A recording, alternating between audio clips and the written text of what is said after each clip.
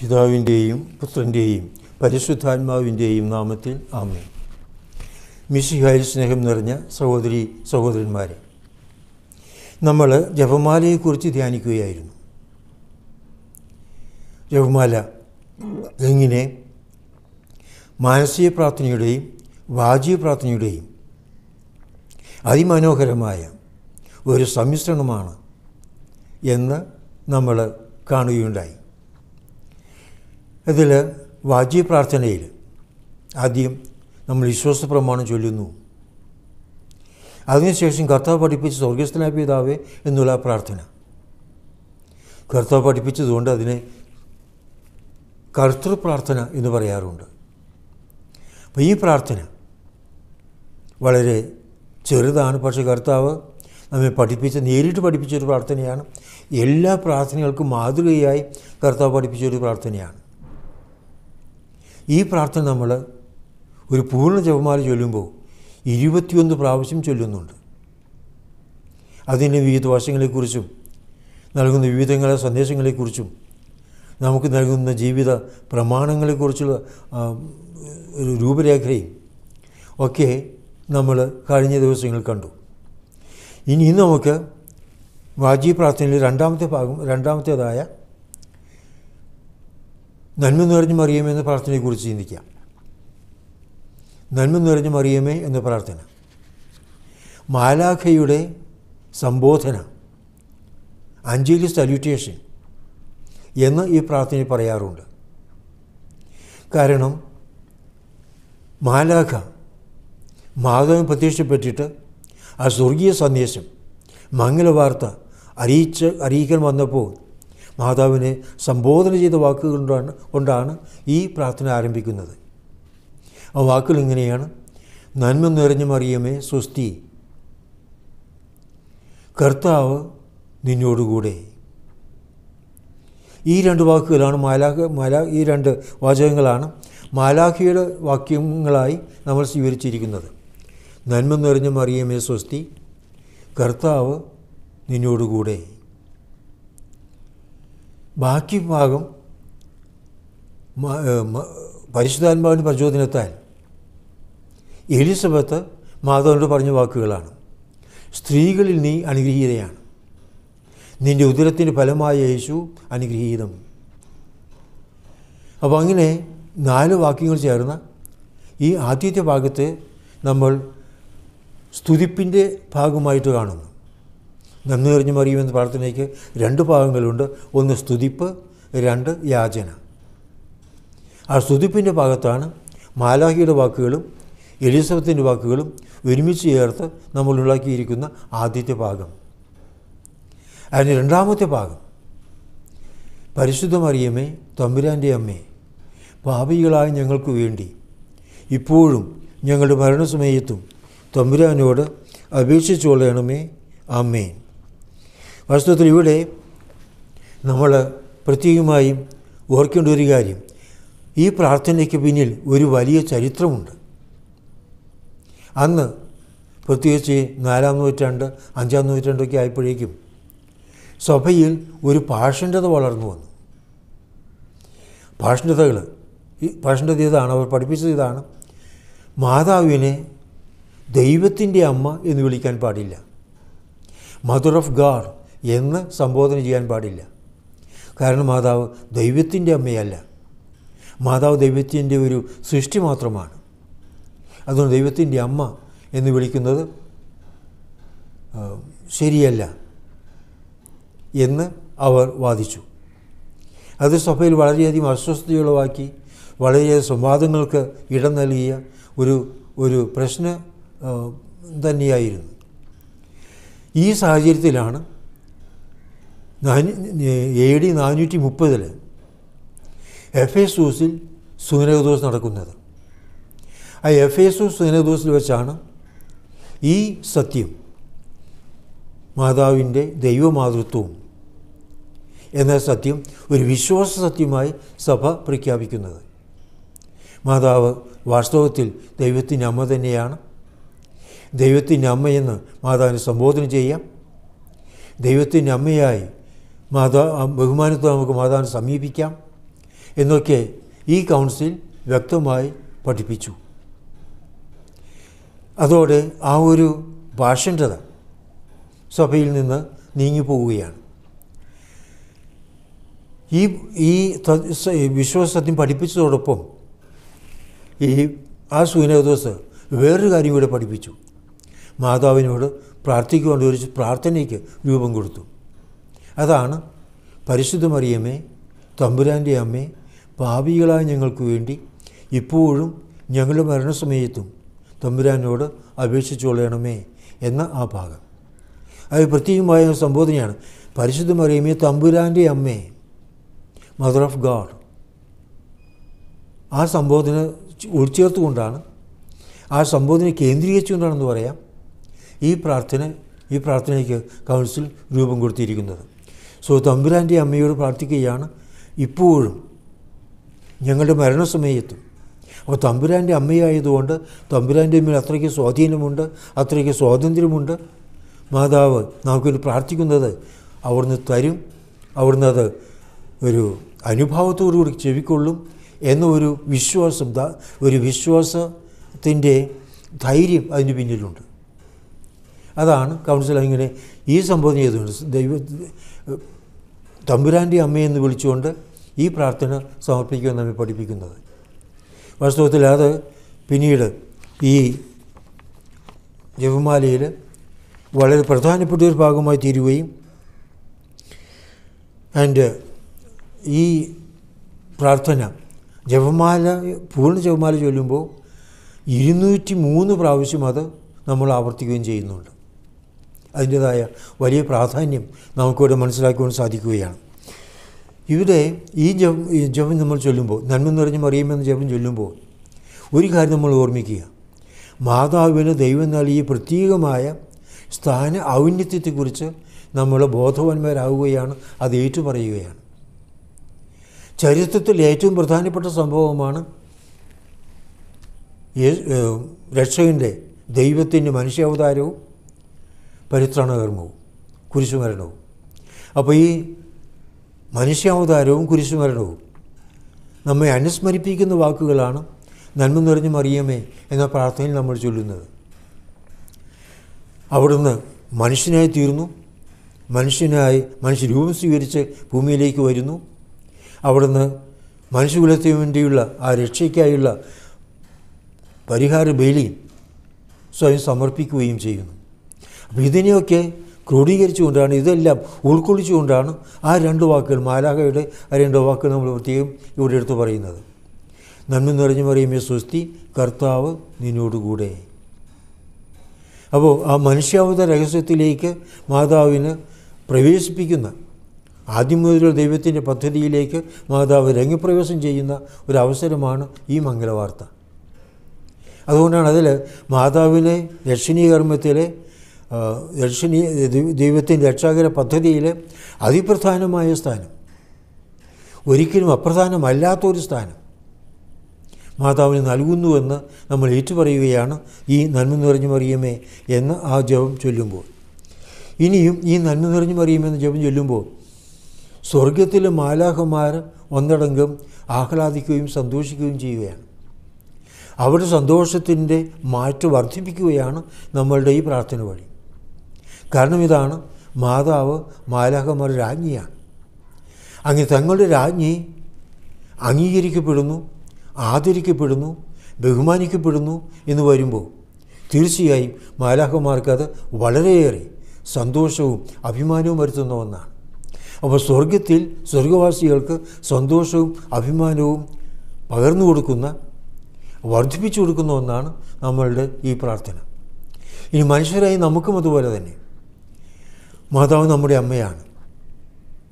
അമ്മ ഈ മാതാവിനെ അമ്മയായി സ്വീകരിക്കുന്നവർക്കല്ല. ഈ മാതാവ് ബഹുമാനിക്കപ്പെടുകയും അംഗീകരിക്കപ്പെടുകയും ആദരിക്കപ്പെടുകയും വലിയ സ്ഥാനത്തെ പ്രതി പുകഴ്ത്തപ്പെടു പുകഴ്ത്തപ്പെടുകയും ഒക്കെ ചെയ്യുന്നതിൽ വളരെയധികം അഭിമാനിക്കുവാനും സന്തോഷിക്കുവാനും സാധിക്കും. അതാണ് ഈ നന്മ നിറഞ്ഞു പറയുമ്പോൾ പ്രാർത്ഥന ചൊല്ലുമ്പോൾ ചൊല്ലുന്നവർക്കും അത് കേൾക്കുന്നവർക്കും അങ്ങനെ ചൊല്ലുന്നുണ്ടെന്ന് അറിയുന്നവർക്കുമൊക്കെ വളരെയധികം അഭിമാനവും സന്തോഷവും അത് നൽകുന്നു എന്ന് പറയുവാൻ കാരണം. ഇനി ഇതോടൊപ്പം മാലാഖമാർക്ക് സന്തോഷം നൽകുന്നു മനുഷ്യർക്ക് ആനന്ദം നൽകുന്നു. അതോടൊപ്പം മറ്റൊരു കാര്യം കൂടിയുണ്ട്.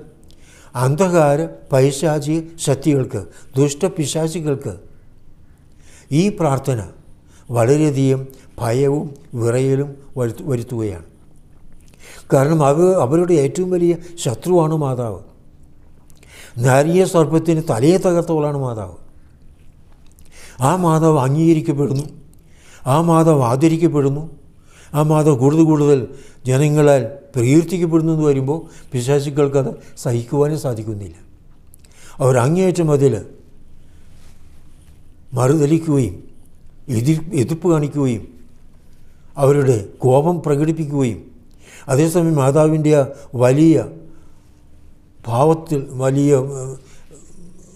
മഹത്വത്തിൽ അവർ ഭയപ്പെടുകയും ചെയ്യുന്നു.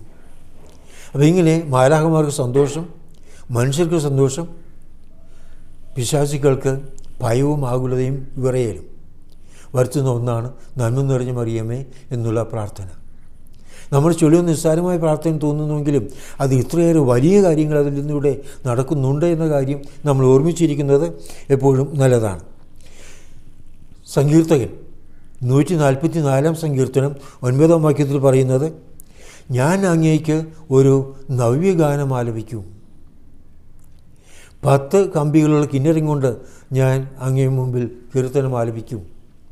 ഒരു നവ്യഗാനം പുതിയ ഗാനം പുതിയ ഗാനം പുതിയ പാട്ട് ഞാൻ പാടും ആലപിക്കും. ഇസ്രയേൽ ജനത വളരെയധികം ഗാനങ്ങൾ ദൈവത്തെ സ്തുതിച്ചുകൊണ്ടും മഹത്വപ്പെടുത്തിക്കൊണ്ടും പ്രത്യേകിച്ച് നന്ദി പറഞ്ഞുകൊണ്ടും അവർ പാടുമായിരുന്നു. വളരെയധികം ഗാനങ്ങളുണ്ടായിരുന്നു. ബൈബിൾ നമുക്ക് കാണുന്നതിന് കഴിയും. അതെല്ലാം അവർ ദൈവത്തിന്റെ സൃഷ്ടി സൃഷ്ടികർമ്മത്തെ പ്രതി ദൈവത്തെ സ്തുതിക്കുന്നു. സൃഷ്ടിയിൽ നിലനിർത്തുന്നതിനെക്കുറിച്ച് അസ്തിത്വത്തിൽ നിലനിർത്തുന്നതിനെക്കുറിച്ച് ദൈവത്തെ സ്തുതിക്കുന്നു. ഈജിപ്തിൽ അടിമത്തത്തിൽ നിന്ന് അവരെ മോചിപ്പിച്ചതിന് ദൈവത്തെ സ്തുതിക്കുന്നു. ചെങ്കടലിലൂടെ കാൽ നനയാതെ മറുകര കടക്കുവാൻ സാധിച്ചതിന് ദൈവത്തെ സ്തുതിക്കുന്നു. മരുഭൂമിയിൽ വെച്ച് ദൈവം സംരക്ഷിച്ചതിനെ ഓർത്ത് ദൈവത്തെ സ്തുതിക്കുന്നു. ആകാശത്തു നിന്ന് മഞ്ഞ പൊഴിച്ചതിന് ഓർത്ത് ദൈവത്തെ മഹത്വപ്പെടുത്തുന്നു.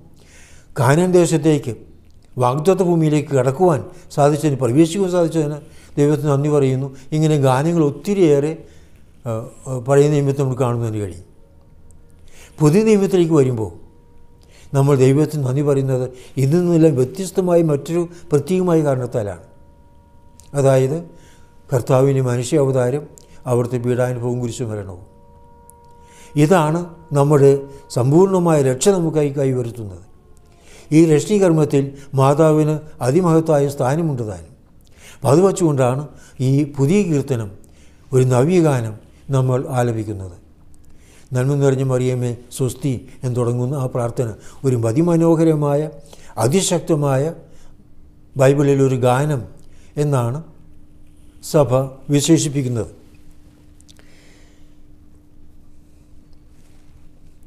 ഈ മാലാഖയുടെ സംബോധനയിൽ നമ്മൾ പിതാവായ ദൈവത്തിന് നന്ദി പറയുകയാണ്. പിതാവ് ദൈവത്തിന് നന്ദി പറയുവാൻ ഈ പ്രാർത്ഥന ഉപകരിക്കുന്നു. കാരണം ഇതാണ് വിശുദ്ധ യോഹന്നാൻ ഒന്ന് തന്റെ സുവിശേഷത്തിലെ മൂന്നാമത്തെ അധ്യായം പത്തിന് പതിനാറാം വാക്യത്തിൽ പറയുന്നത് പോലെ അവരിൽ വിശ്വസിക്കുന്ന ഏവനും നശിച്ചു പോവാതെ നിത്യജീവൻ പ്രാപിക്കുന്നതിന് വേണ്ടി. തന്റെ ഏകജാതനെ നൽകുവാൻ തക്ക വിധം ദൈവം ലോകത്തെ അത്രമാത്രം സ്നേഹിച്ചു. ദൈവം ലോകത്തെ അത്രമാത്രം സ്നേഹിച്ചു. അതൊരു ഒരു വലിയൊരു സൂപ്പർലേറ്റീവ് പ്രയോഗമാണ്. അത്രമാത്രം ദൈവം നമ്മെ സ്നേഹിക്കുന്നു. തന്റെ ഏകജാതനെ നൽകുവാൻ തക്ക വിധം അങ്ങനെ തന്റെ ഏകജാതനെ നമുക്കായി നൽകിയ ആ വലിയ സ്നേഹത്തിന്റെ പ്രവൃത്തി. അതാണ് നമ്മൾ ഈ നന്മ നിറഞ്ഞു മറിയുമേ എന്ന പ്രാർത്ഥന പ്രത്യേകമായി അനുസ്മരിക്കുന്നത്. അപ്പോൾ ഈ വലിയ ദാനം സ്നേഹത്തിന്റെ ദാനം അനുസ്മരിച്ചുകൊണ്ട് നമ്മൾ ദൈവത്തിന് നന്ദി പറയുകയാണ്. ഈ തന്റെ ഏകജാതനെ നമുക്കായി നൽകുവാൻ തക്ക വിധം. നാം ആരും നശിച്ചു പോവാതെ രക്ഷപ്പെടുവാൻ വേണ്ടി തന്റെ ഏകജാതനെ നമുക്കായി ബലിയെ നൽകുവാൻ തക്ക വിധം. നമ്മെ സ്നേഹിച്ച പിതാവിനെ പിതാവിന്റെ സ്നേഹം അനുസ്മരിച്ചുകൊണ്ട് നമ്മൾ അവിടുത്തെ സ്തുതിക്കുകയാണ്. ഇനി യേശുവിനോടും അതുപോലെ തന്നെ നമ്മൾ പ്രത്യേകമായി അവിടുത്തെ സ്നേഹം അനുസ്മരിച്ച് അവിടത്തേക്ക് നന്ദി പറയുകയാണ്. ഈ പ്രത്യേകം പറയുന്നു ഫിലിപ്പിയർക്കെഴുതിയ ലേഖനം രണ്ടാമത്തെ അധ്യായത്തിൽ ദൈവത്തോട് തുല്യനായിരുന്നു സമനായിരുന്നു അവിടുന്ന്. എന്നാൽ ആ സമാനത മുറുകെ പിടിക്കേണ്ട ഒന്നായി പരിഗണിക്കാതെ സ്വയം ശൂന്യനാക്കി ദാസന്റെ വേഷം സ്വീകരിച്ച് മനുഷ്യരൂപം ധരിച്ച് ഈ ഭൂമിയിലേക്ക് വരുന്നു. അനുസരണം അഭ്യസിക്കുന്നു മരണത്തോളം. അതെ കുരിശുമരണത്തോളം അനുസരണയുള്ളവനായി തീരുന്നു അപ്പോൾ പിതാ പിതാവായ ദൈവത്തിനോടൊപ്പം സ്വർഗത്തിലിരുന്ന് ആ സൗഭാഗ്യത്തിന്റെ മധ്യത്തിൽ നിന്ന് കർത്താവായ യേശു കണ്ണുനീരിന്റെയും സങ്കടത്തിന്റെയും ഒക്കെ ഈ ഭൂമിയിലേക്ക് ഇറങ്ങി വരികയാണ് നമ്മളോട് സ്നേഹത്തെ പ്രതി. നമ്മെ പാപത്തിന്റെ ബന്ധനത്തിൽ നിന്ന് മോചിപ്പിക്കുന്നതിന് വേണ്ടി. നമുക്ക് വിടുതൽ നൽകുന്നതിന് വേണ്ടി. അവിടുന്ന് സ്വയം ബന്ധനസ്ഥനായി തീരുവാൻ സ്വയം സമർപ്പിച്ചുകൊണ്ട് താഴേക്ക് ഇറങ്ങി വന്നു. ദാസിന്റെ വേഷം സ്വീകരിച്ച് അനുസരണയുള്ളവനായി കുരിശു മരണത്തോളം സാധാരണ മരണമല്ല കുരിശു മരണം വരെ പ്രത്യേകം എടുത്തു പറയുകയാണ്. അതാണ് കർത്താവിന് നമ്മുടെ നേരെയുണ്ടായ അപാരമായ സ്നേഹം. കർത്താവിനെ പറഞ്ഞിട്ടുണ്ട് സ്നേഹത്തിന് വേണ്ടി ജീവൻ ബലി കഴിക്കുന്നതിനേക്കാൾ വലിയ സ്നേഹമില്ല. ഏറ്റവും വലിയ സ്നേഹം സ്നേഹത്തിന് വേണ്ടി ജീവൻ ബലിയഴിക്കുക എന്നുള്ളതാണ്. ഭർത്താവ് നമുക്ക് വേണ്ടി ചെയ്തതും അതാണ്. നമുക്ക് വേണ്ടി സ്വന്തം ജീവൻ ബലിയഴിക്കുവാൻ സ്വയം സമർപ്പിക്കുവാൻ അവിടുന്ന് തയ്യാറായി. ഇതനുസ്മരിച്ചുകൊണ്ട് നമ്മൾ അവിടുത്തെ അവിടത്തേക്ക് നന്ദി പറയുകയാണ് ഈ പ്രാർത്ഥനയിൽ. ഇനി പരിശുദ്ധാത്മാവിനും അതുപോലെ തന്നെ പ്രത്യേകമായി നമ്മുടെ രക്ഷണീകർമ്മത്തിലുള്ള പരിശുദ്ധാത്മാവിന്റെ സഹകരണം പ്രവർത്തനം അതിനെ അനുസ്മരിച്ച് പരിശുദ്ധാത്മാവിന് നമ്മൾ നന്ദി പറയുകയാണ്. ഈ നന്മ നിറഞ്ഞു മറിയമേ എന്ന പ്രാർത്ഥന ചൊല്ലുമ്പോൾ. കർത്താവിന് രക്ഷണീകർമ്മം നിറവേറ്റുവാൻ ഒരു ശരീരം ആവശ്യമായി വന്നു. ആ ശരീരത്തിന് മാതാവിന്റെ ഉദരത്തിൽ രൂപം നൽകിയത് പരിശുദ്ധാത്മാവാണ്. പരിശുദ്ധാമ്മയുടെ അതിനിർമ്മലമായ ആ തിരുവുദരത്തിൽ നിന്ന് ഒരു ശരീരം രൂപം കൊള്ളുവാൻ പരിശുദ്ധാത്മാവിന്റെ ദൈവികമായ ശക്തമായ ആ പ്രവർത്തനം. അതിന് നമ്മൾ പ്രത്യേകം അനുസ്മരിക്കുകയാണ്. അങ്ങനെ പരിശുദ്ധാത്മാവിന്റെ പ്രവർത്തനത്തിലൂടെ മാതാവിൽ നിന്ന് ഉരുവാക്കപ്പെട്ട ആ ശരീരമാണ് നമുക്ക് വേണ്ടി കലുവരിയിൽ കുരിശ് മരിക്കുന്നത് നമ്മുടെ പാപങ്ങൾക്ക് പരിഹാര ബലിയായി പിതാവ് ദൈവത്തിന് സമർപ്പിക്കുന്നത്. അതുകൊണ്ട് ഈ പ്രാർത്ഥന നമ്മൾ ചൊല്ലുമ്പോഴൊക്കെ ഈ വലിയ കാര്യങ്ങൾക്ക് നമ്മൾ ഓർമ്മിക്കുക. ഈ മൂന്ന് പിതാവായ ദൈവം നമ്മോട് കാണിച്ച സ്നേഹം പുത്രനായ ഈശോ നമ്മോട് കാണിച്ച സ്നേഹം പരിശുദ്ധാത്മാവ് കാണിച്ച സ്നേഹം ഇതൊക്കെ നമ്മൾ ഓർമ്മിച്ചുകൊണ്ട് ഈ ഒരു ചെറിയ പ്രാർത്ഥനയിലൂടെ ദൈവത്തെ സ്തുതിക്കുകയാണ് മഹത്വപ്പെടുത്തുകയാണ്. അതേസമയം നമ്മൾ മാതാവിനെ സ്തുതിക്കുന്നു മാതാവിനെയും ബഹുമാനിക്കുകയും ആദരിക്കുകയും ചെയ്യുന്നു. ഈ കാര്യങ്ങളൊക്കെ ഓർമ്മിച്ചുകൊണ്ട് ഭക്തിയോടുകൂടെ ശ്രദ്ധയോടുകൂടെ അതിന്റെ അന്തരാർത്ഥം കൂടുതൽ മനസ്സിൽ കൊണ്ടുവന്നുകൊണ്ട് പ്രാർത്ഥിക്കാൻ ശ്രമിക്കുക. നമ്മൾ ഓരോ ദിവസവും ജപമാല ചൊല്ലുമ്പോൾ പൂർണ ജപമാല ചൊല്ലുമ്പോൾ ഇരുന്നൂറ്റി മൂന്ന് പ്രാവശ്യം ഈ പ്രാർത്ഥന ചൊല്ലുന്നുണ്ട്. അങ്ങനെ ദിവസവും നമ്മൾ ചൊല്ലു ഈ ജപമാല ചൊല്ലുമ്പോൾ എത്രയോ പ്രാവശ്യമാണ് ഇത് ആവർത്തിക്കുന്നത്. അപ്പോൾ ഇത്രയും പ്രാവശ്യം നമ്മൾ ഈ കാര്യം ഈ ദൈവിക സത്യങ്ങൾ ചിന്തിക്കുകയും മനസ്സിൽ ധ്യാനിക്കുകയും മനസ്സിൽ ഹൃദയത്തിൽ അത് ആഴമായി പതിയാൻ ഇടവരിയുമൊക്കെ ചെയ്താൽ തീർച്ചയായും നമ്മുടെ ജീവിതത്തിൽ അതിന്റെ സ്വാധീനം ഉണ്ടാകാതിരിക്കുകയില്ല. അതിന്റെ നന്മ നമ്മൾ നിറയാതിരിക്കുകയില്ല. ആ ഒരു വലിയ ബോധ്യത്തോടെ വിശ്വാസത്തോടെ ഭക്തിയോടെ പ്രത്യാശയോടെ സ്നേഹത്തോടെ ഈ പ്രാർത്ഥന ചൊല്ലുന്നതിന് നമുക്ക് പരിശ്രമിക്കാം. പിതാവിന്റെയും പുത്രന്റെയും പരിശുദ്ധാത്മാവിന്റെയും നാമത്തിൽ ആമേൻ.